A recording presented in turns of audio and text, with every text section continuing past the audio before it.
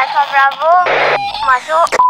Bila ada gosip masuk, sepantas kilat Cik Koci masuk kereta. Gosip dalam kereta.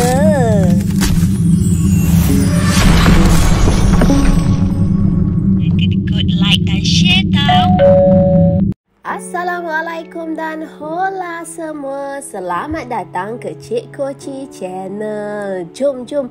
Hari ni kita nak cerita mengenai lelaki jenis sembang gebang nak kahwin yang kurus. Ce, ini respon bekas bakal suami Anju.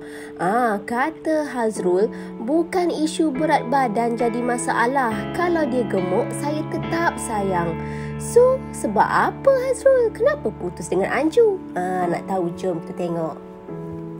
Hangat diperkatakan mengenai hubungan pelakon Zarina Anjoli dengan tunangnya Datuk Seri Hazrul LZ semalam, perkongsian Hazrul seolah memberi bayangan mengenai ikatan pertunangan mereka.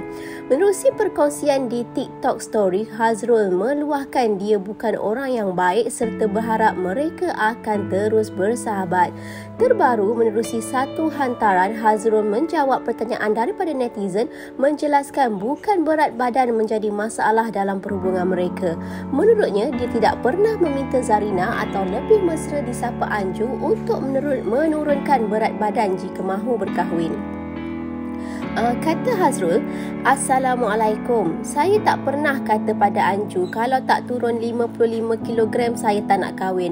Anju dah kata dia hanya bergurau isu ini, tak sangka jadi viral. Anju ada post di media, dia bergurau, tak sangka isu melarat. Anju dah minta maaf pada saya. Saya dah nasihat dia jangan main tulis macam tu. Saya tanya Anju, awak tak rasa bersalah ke awak tulis main-main tapi netizen sumpah seranah bakal suami awak. Jadi dia menyesal sebab isu berat badan ini, kata Hazrul.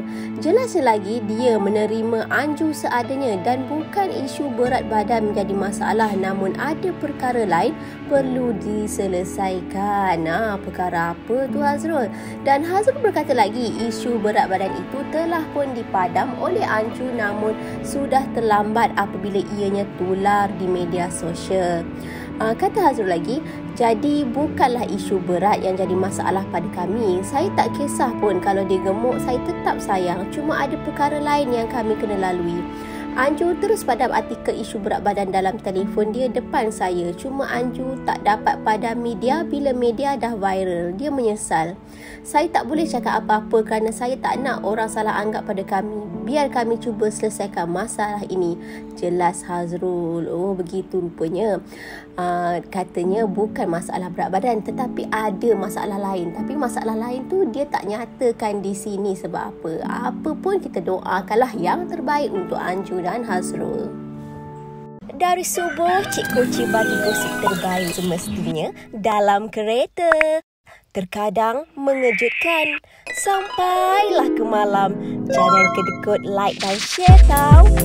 Hashtag sepantas kilat.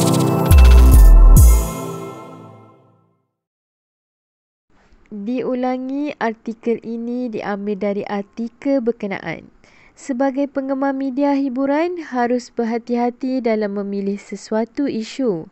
Kami tidak bertanggungjawab kerana pihak kami tidak tahu kesahihan berita yang dikeluarkan. Jangan meletakkan kepercayaan penuh dan membuat spekulasi atas perkara yang kita tidak pasti. Menghayati hiburan boleh, jangan sampai kita melibatkan diri dengan fitnah dan buka aib mereka.